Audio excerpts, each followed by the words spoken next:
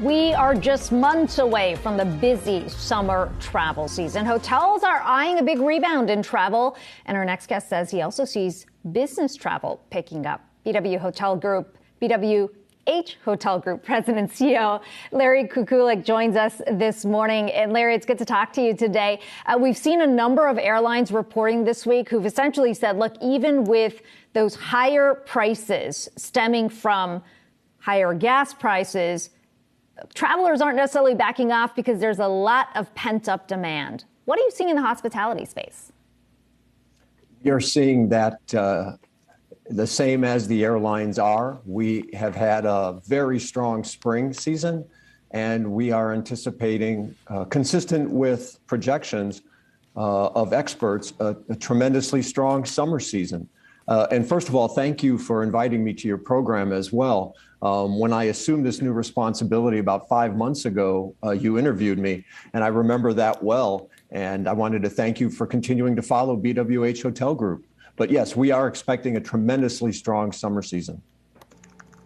Hey, Larry, it's Brian Chung here. No, it's, I mean, we appreciate you bringing the commentary. I mean, obviously, this hotel space is, I'm sure, interesting time for you to kind of come on, come on board for in this chapter of the recovery. What are you seeing on the price side of things? Because that was a big story for hotels and motels during the recovery was not being able to get the volume back into the hotels. But it seems like occupancy rates are coming back despite this BA2 wave. Uh, have you also been able to exercise some price increases to uh, kind of recover some of the margins? We absolutely, great question. We absolutely have to see prices, uh, average daily rate increase. Um, the cost of doing business for our hoteliers is increasing, of course, as well. The cost of the breakfasts we provide, utility costs, insurance costs. And uh, consumers see that in their daily lives. And, and as a result, we believe from a common sense approach, they understand that our hoteliers uh, have to ensure that they're getting a fair and reasonable price for the accommodations they're providing. Um, what's special about Best Western BWH Hotel Group is you know, we have 18 brands of hotels across all segments from economy up to luxury.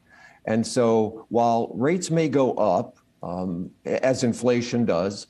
Um, we think that we have a hotel that can uh, meet the needs of any traveler across all segments.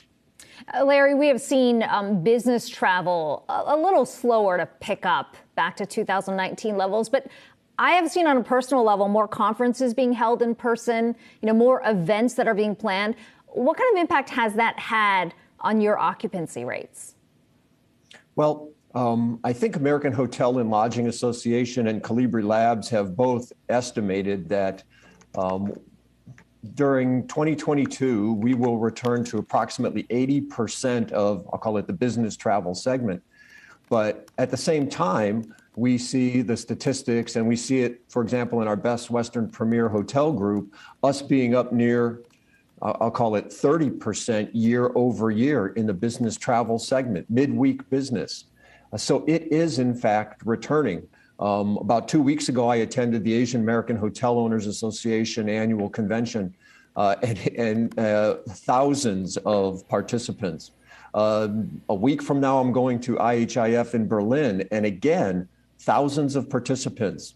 There is this pent up business demand that is, is coming back, and that's really consistent with um, what we see through the experts like Cvent, who said that, uh, who recently said that um, meetings of, I'll call it over 100, are going to be up 20% year over year. So, you know, it had the biggest, uh, uh, the pandemic had its biggest impact on that segment. And it now has, I think, the greatest opportunity to grow in 2022 and 2023. And that's what we're actually seeing. Um, you know, I, will make this. Oh, go ahead, Brian. Yeah, I was going to say, I mean, is that the target demo for the new brand that you're launching or relaunching, uh, VIB, Viv Vibe? Uh, is that how you pronounce it? Uh, it's an obviously interesting new format that you're trying to play around with. Who's the target demo for that product? And tell us a little bit more about it. Sure. Vibe is a vibe. boutique-ish brand. vibe. Yeah, like in cool vibe. Um, uh, the, the, Vibe brand is a boutique brand that we are, I'll call it reinitiating, relaunching Uh, it was it's intended really for a, a, piece of land that has a smaller footprint, but it's boutiquish in that it has a huge meeting space. The one that we opened about two three weeks ago in Tempe, Arizona, um, has a large meeting space. It's got uh, a bar, uh, excuse me, a bar. It has uh, a coffee bar. Uh, it has. We actually entered into a franchise with Cousins Maine Lobster um, to to draw in street traffic as well. It's it's intended to be a hotel that welcomes guests and provides them that unique boutiquish experience.